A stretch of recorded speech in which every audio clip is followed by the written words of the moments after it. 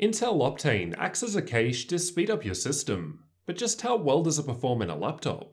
To find out, I've tested a laptop in a number of different tests and benchmarks to help you decide if Intel's Optane technology is worth it.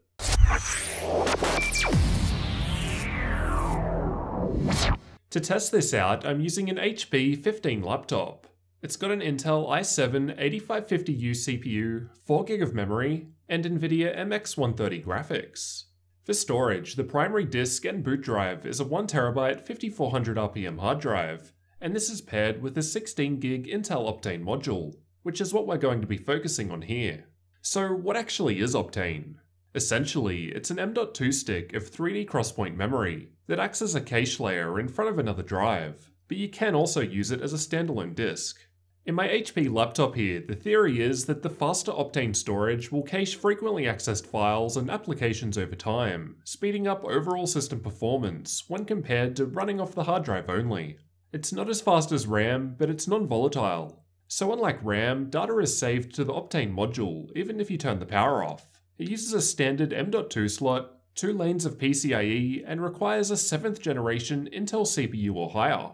These are the raw speeds of the hard drive and Optane module standalone, so with Optane disabled and not performing any caching, just to show you the baseline differences in performance between these two types of storage. And as we can see, the reads on my 16GB Optane stick are much higher than the hard drive, though the writes aren't that much improved in comparison. But for something primarily acting as a caching device, you'd want better reads anyway. The larger 32GB Optane module does have faster read and write speeds though, so more performance is available. With all of that in mind, let's take a look at some Optane-enabled benchmarks. All tests with Optane enabled were tested after enabling Optane from the disabled state, as Intel note that you can't flush the Optane cache, so you've got to instead go through the slow process of disabling it and enabling it again, it's quick to enable, but can take a while to disable, as presumably it has to copy the data off to the hard drive. With a clear cache, I've run each test three times with a reboot in between to flush the faster RAM from caching things. With the idea being that we should see improved speed each time with Optane, as what we're opening frequently starts to get cached. To start with, I've tested Windows boot times, no Linux support with Optane at this time unfortunately. As we can see, there's quite a large improvement using Intel's Optane in this test after the first initial cache. The first boot did take slightly longer than just running off the hard drive only. I'm not sure if that was because it was part of the Optane enabling process, as a reboot is required going from disabled to enabled.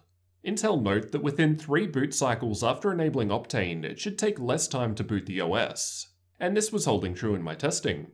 Next up, after the operating system had fully loaded after each reboot, I opened the Google Chrome browser. So nothing should have been in RAM as this was straight after reboot. And we can see that with Optane enabled, the load time got faster with each test. But it's worth noting I measured this as best I could with a stopwatch. So there are minor inaccuracies due to that. However, the results do definitely show us the trend of the Optane cache improving performance over time. I've also tested opening a game, Overwatch in this case, the first time with Optane enabled shown in the lightest blue was longer than the subsequent loadings, though a little ahead of just on hard drive only, possibly as the Optane cache was being written to for the first time and caching the files. And again, like the other tests, each test was performed after a full Windows reboot, so system RAM was flushed between runs. Here are the results of some synthetic benchmarks, a bit less useful compared to the real-world tests just shown, but provided for completeness. Starting with Crystal Diskmark, with Optane enabled, the read and write speeds do improve a little after the first pass. And here are the results from the Atto benchmark, which tests different sizes and also lists IOPS. Honestly, not too useful, as as soon as the first part of the test runs, the Optane module has cached the results. And with these tests, it seems like the first pass is using the Optane module anyway. It's also worth mentioning that you won't see any improvements to games in terms of frame rate, I've previously compared gaming on hard drive and SSD in the past, and there was no noticeable difference in the titles I tested. The biggest gains are definitely to be had from loading the required game files into RAM from slower disk.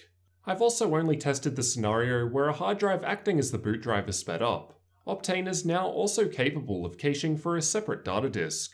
So although not what I have in my configuration, you could in theory have an SSD boot drive 2TB hard drive, and then an Optane module providing caching for the hard drive. Honestly, probably a more useful use case. Results will of course vary on many factors. For example, if I frequently open various video files that are multiple gigabytes in size, I'd quickly fill up my Optane cache, making it less efficient if the contents have to keep changing. Granted, probably not the most common scenario, but worth considering. Such a use case would likely benefit from a larger Optane module. The 32GB Optane modules and above also give you the option to pin files. So basically, you select the files, folders, or applications that you know that you use often, so that they always stay cached on the Optane storage for faster access, rather than relying on Intel's software to figure it out for you. In terms of general usage, with Optane disabled, I did notice that Windows felt less responsive. It's hard to accurately measure, but just interacting with the start menu felt slow and tedious. It was noticeably better with Optane enabled. That's not to say Optane is a silver bullet though.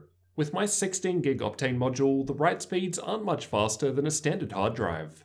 So as soon as Windows updates were going and writing away to disk, responsiveness definitely took a nosedive. Granted, that would be an issue with just a hard drive by itself too, but not something you'd typically see to this degree with an SSD. In general, for most people, it probably makes more sense to use an SSD instead of an Optane module where possible. The classic SSD boot drive and hard drive data disk combination works well, and with an SSD you're always getting much better read and writes compared to a hard drive.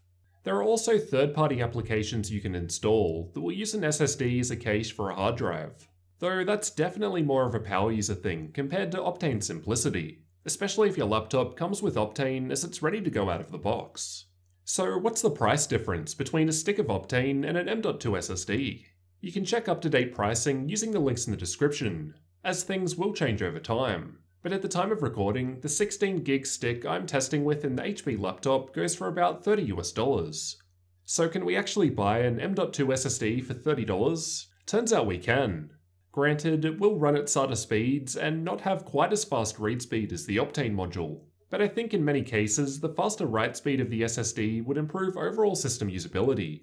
For just a few dollars more than a 16GB Optane module, we could instead have a 120GB M.2 SSD, not bad. I would have really liked to have compared a similarly priced SSD, but I didn't have one on hand. But based on the read and write speeds noted for the price, it's pretty safe to say that performance would be quite a nice step up for all-round performance, as there's no cache layer to deal with. Although for larger data drives of 1TB and above, it would be too expensive for most people to buy an SSD of that size to fit all their data. So the hard drive and Optane combo makes more sense there. Honestly, it depends entirely on your use case as to what's best. The technology is definitely interesting, but in terms of price to performance, I think most users who know what they're doing will be better off running an SSD. Though as discussed, there are some niche use cases for Optane, especially if you're not a power user. There are some well-priced laptops with Optane pre-installed, and at those lower price points it's better than just having a standard hard drive by itself. But personally, I'd be happy with a smaller SSD only. If the laptop also had a large hard drive installed, then sure, by all means Optane me up on that. But finding a budget laptop with two M.2 slots and a 2.5 inch drive bay may limit this to more expensive models. Let me know what you guys thought about using Intel's Optane to speed up disk access in laptops down in the comments, and don't forget to subscribe for future tech videos like this one.